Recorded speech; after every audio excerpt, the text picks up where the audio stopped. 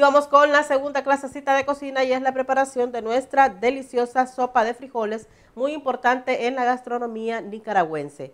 Esta sopa tiene varias propuestas de preparación. Una de ellas, por ejemplo, en la costa atlántica, según me contaba una, muy querida amiga, eh, se hace con leche de coco y eh, unas albóndigas de harina.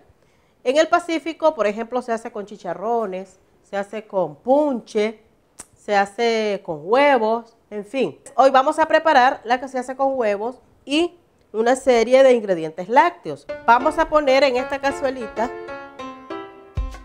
dos a tres cucharadas de aceite y en él cebolla picada al gusto. Aproximadamente tengo aquí un cuarto de cebolla mediana. Esto es una chiltoma verde en cuadro. Además, vamos a integrarle unos cuatro dientes de ajo picados y solo esperamos que esto se sofría, es decir, que la cebolla transparente un poco y tanto la chiltoma como el ajo se dan también un poco. Bueno, ya está nuestro sofrito y voy a aprovechar para poner una olla con el caldo de frijoles, es decir, lo que llamamos tradicionalmente sopa, ¿no? Voy a poner aquí litro y medio de caldo de frijoles. Entonces, voy a poner, fíjense bien, el resto del caldo que es medio litro en la licuadora, nuestro sofrito. Ay, qué rico. Ñau, ñau taza y media de frijoles cocidos que lo vamos a integrar aquí 8 hojitas de cilantro que las tengo en trozos ahora esto lo licuamos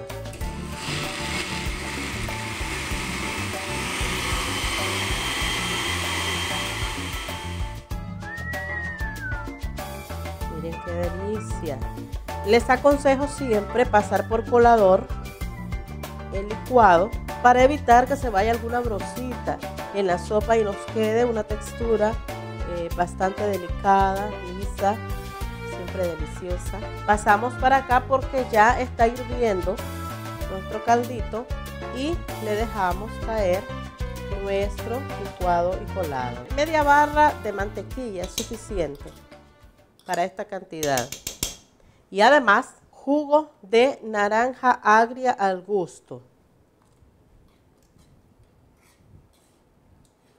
Y como prácticamente está a punto de hervor, yo voy a aprovechar para emplear una técnica de cocina. La técnica del atemperado consiste en mezclar dos temperaturas eh, diferentes para conseguir una temperatura intermedia. ¿Qué vamos a lograr con eso? Que no tengamos el problema. Ustedes saben, cuando hacemos sopas a veces se nos ve cortado. Es porque usamos una temperatura demasiado fría con una demasiado caliente. Entonces eso es lo que vamos a evitar ahorita.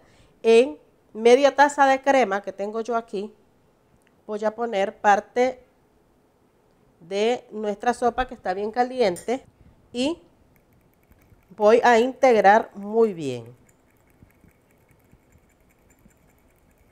De a poquito, no se preocupen, esto es sin prisa y con calma.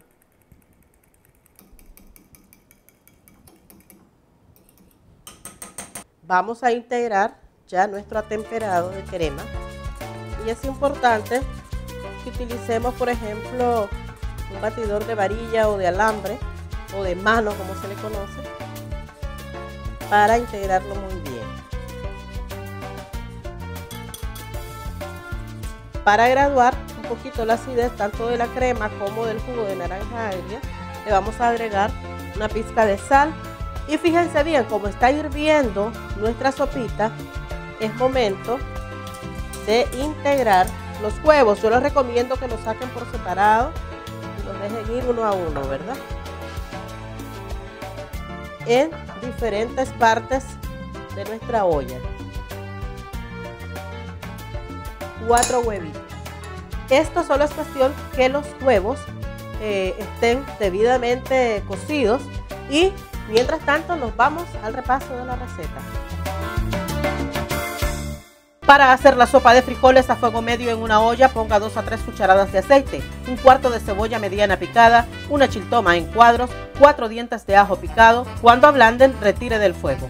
En una olla ponga a fuego medio 1 y medio litro de caldo de frijoles. Mientras tanto, en una licuadora vierta medio litro de caldo de frijoles, el sofrito, una y media taza de frijoles cocidos y 8 hojas de cilantro en trozos. Licúe, cuele y agregue el colado a la sopa. También media barra de mantequilla y jugo de naranja agria al gusto.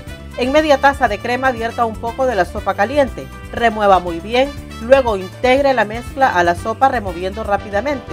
Una pizca de sal y sin remover uno a uno cuatro huevos. Finalmente espere cuatro minutos y listo.